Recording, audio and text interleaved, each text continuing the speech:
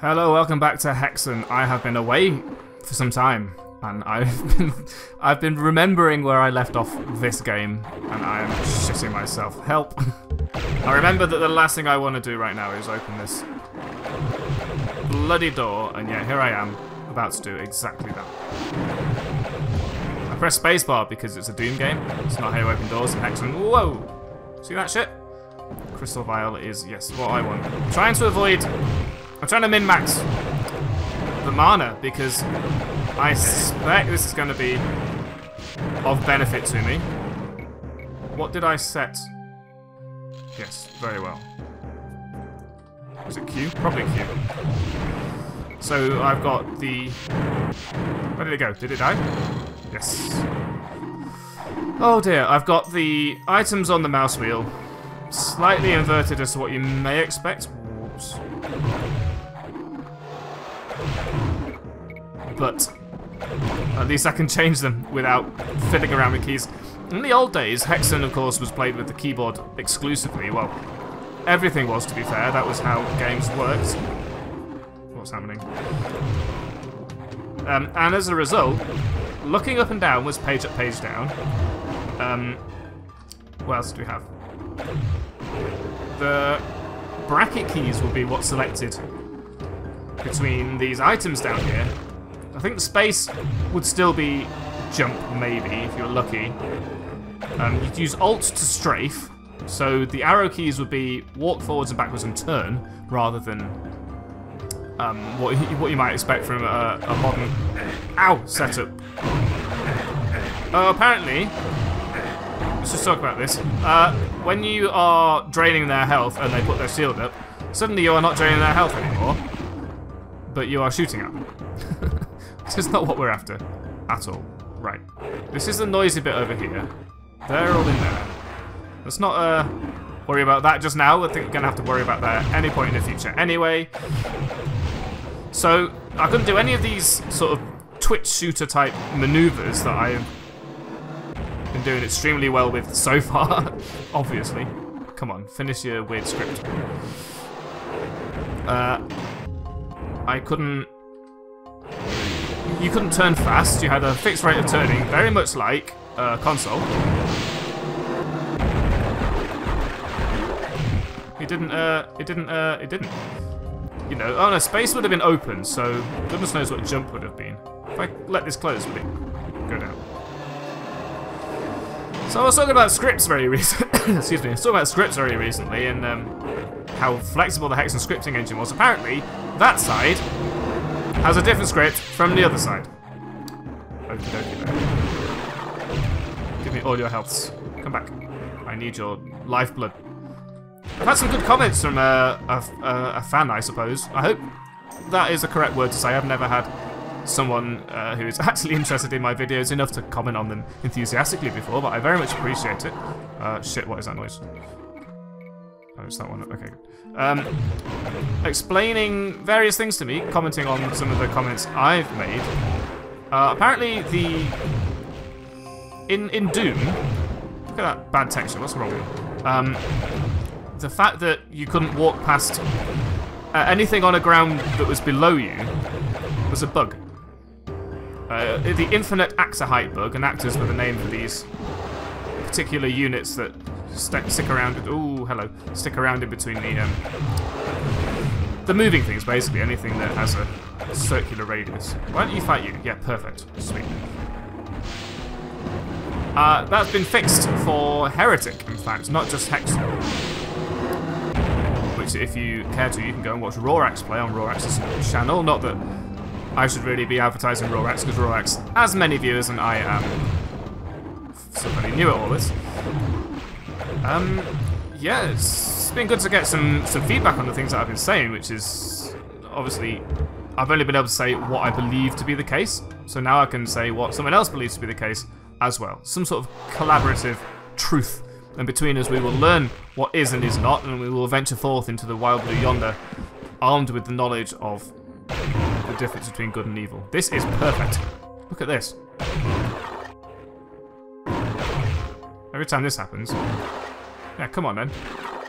Come back. Okay. I can actually heal up from this unit. Which is basically what I'm going to do. Uh, slightly cheap. Okay, uh, now I need mana.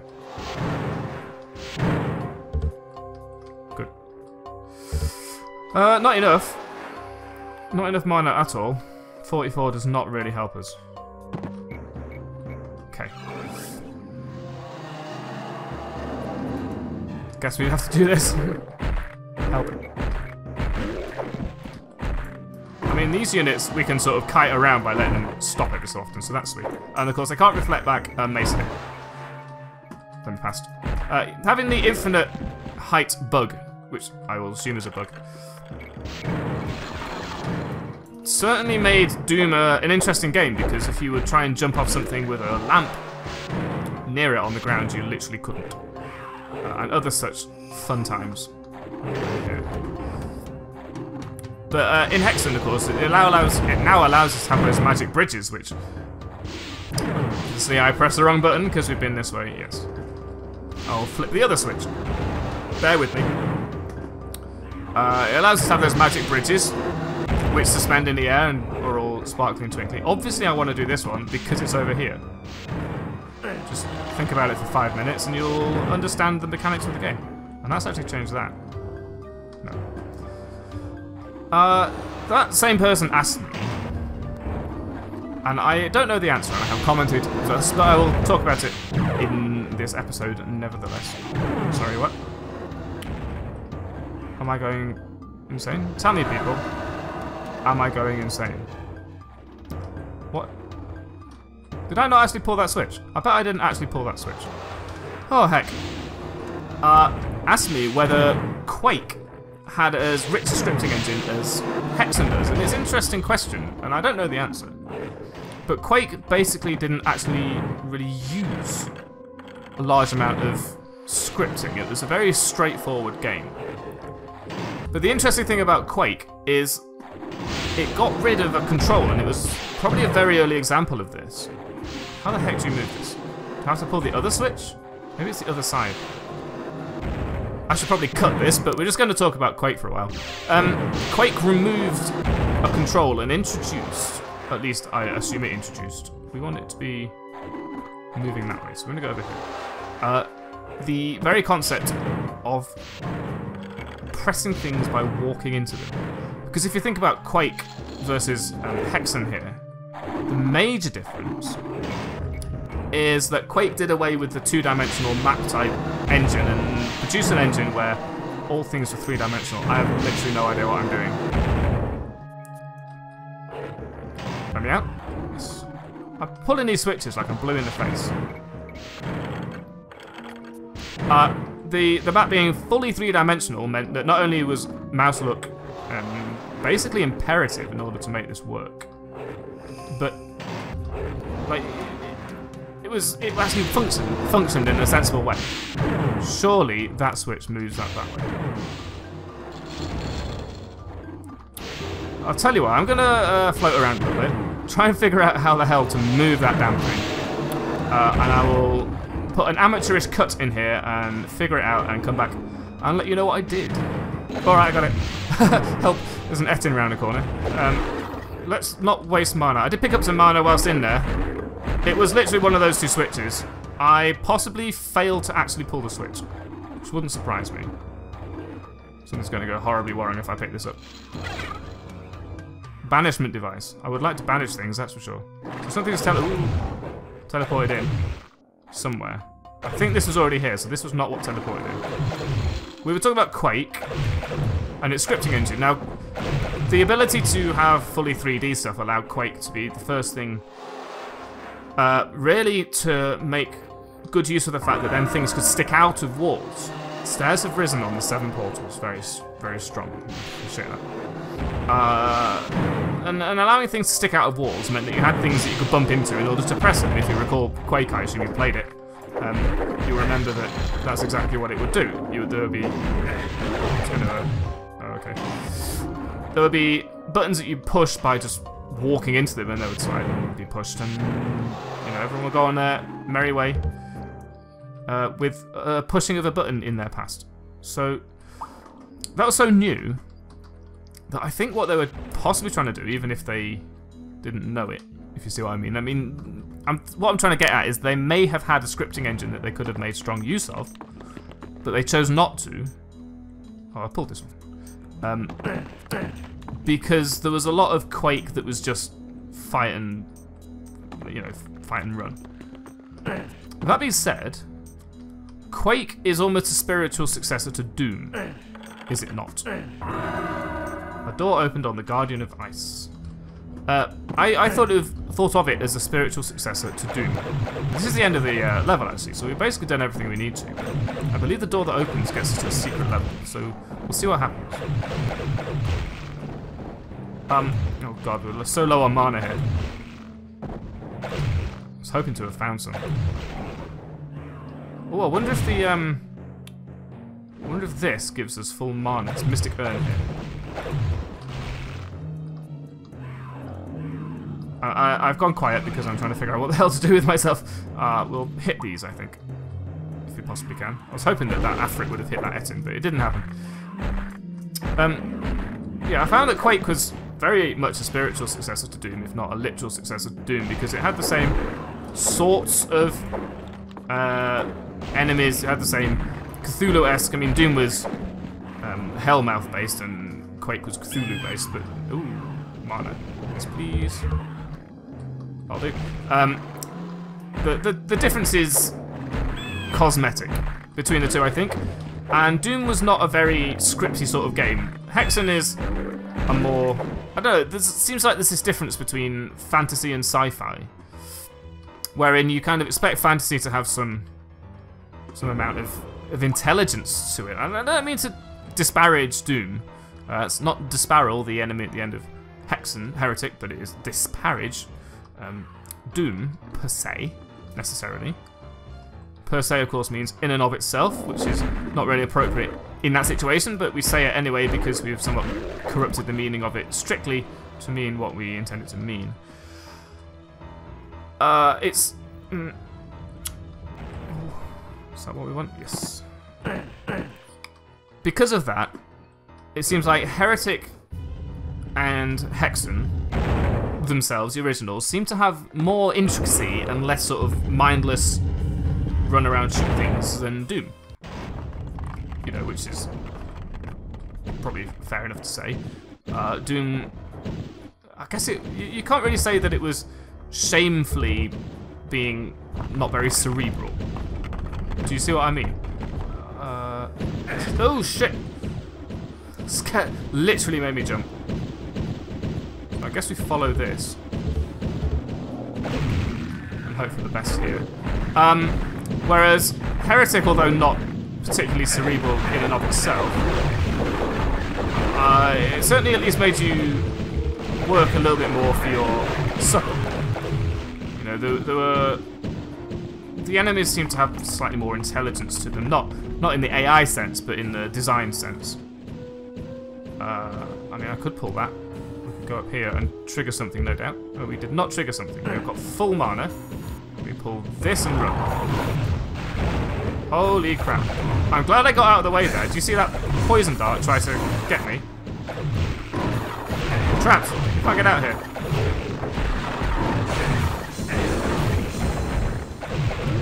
That is a very clever script. Oh, shit. And these are shooting randomly as well least it seems like they are. We should use one of these, because we have many of them. Uh, what was I saying? The enemies in Heretic seemed, if not, you know, smarter in, in the AI sense, at least seemed like they had a slightly smart design. Oh, shit! Holy crap! What the fuck? Can we do anything here? I don't know. We can hope for the fucking best, that's for sure. Yes, we can use all that. Uh, I am sorry for shouting so much. We'll use these as well. Oh my goodness. Just going to keep burning through my uh, glass files here, crystal vials, until I'm not dead. I think this is a good use of them. We have 25. We managed to make it to 25 crystal vials, even though... Well, that scared the shit out of me. Um, even though this has been a very difficult run so far, I mean, this is probably what we should have done, just to try and get rid of some of these at least. Um, like, we've, we've put a lot of effort into this and come out with 25 crystal vials, and we had to use one, you know, in order to pick them up on the previous floor, so I don't feel too badly about having burned through them quite a lot. We've still got 16 left, believe it or not, and I can drain this Joker's health and pick up some more HP here. Uh, mana here. So, I think now what we do is we cross over to the other side. Not in the, um, not in the Stranger Things way, not in the, the, the Cthulhu-esque sort of way. Just in the literally go down there and come up here sort of way. Let me go onto this side. Oh, that hurt. Sort of way. Um, I completely forgot what I was talking about because I went through there and shot myself. That's right. Heretic, Hexen. Obviously, Hexen is a much more cerebral game than Doom, literally because of the fact that it's it's obviously got these uh, these puzzles, these scripts, these interlocking intricacies that uh, um, in a game like Doom you just you just wouldn't see. I'm going to use this because we are pretty safe against these monsters for now. If I can find the bastards. Here's one here. So we could do some damage to them and sort of poke them onto our area, that'd be good. Save some mana for the end of the seven portals. Whereas Doom being very much fire and survive sort of game, I think that Quake um, follows that spiritually.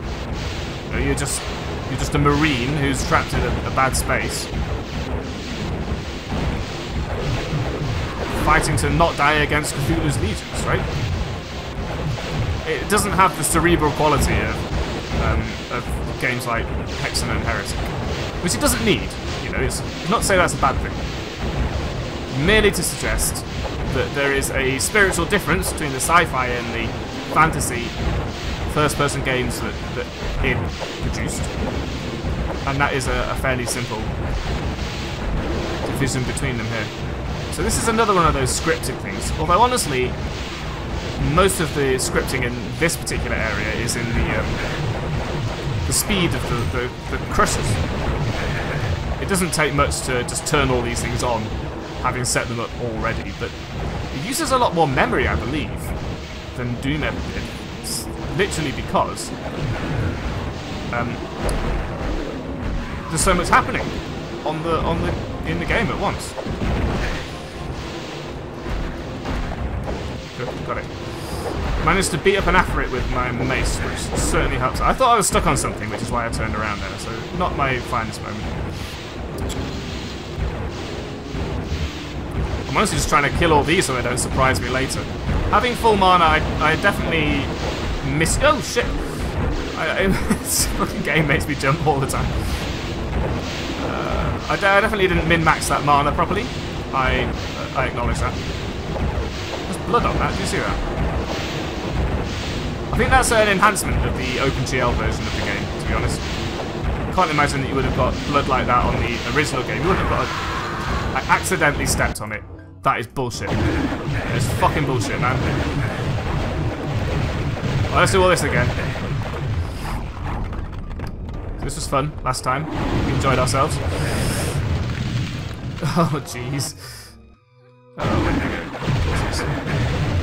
man. How did I do it? I might have to cut and come back. I'll see you in a minute. Alright, I think I've cleared out the uh, majority of this area. I didn't bother using my mace this time because there was more than enough blue mana around to make up for the use of it. And this is the goal of this area.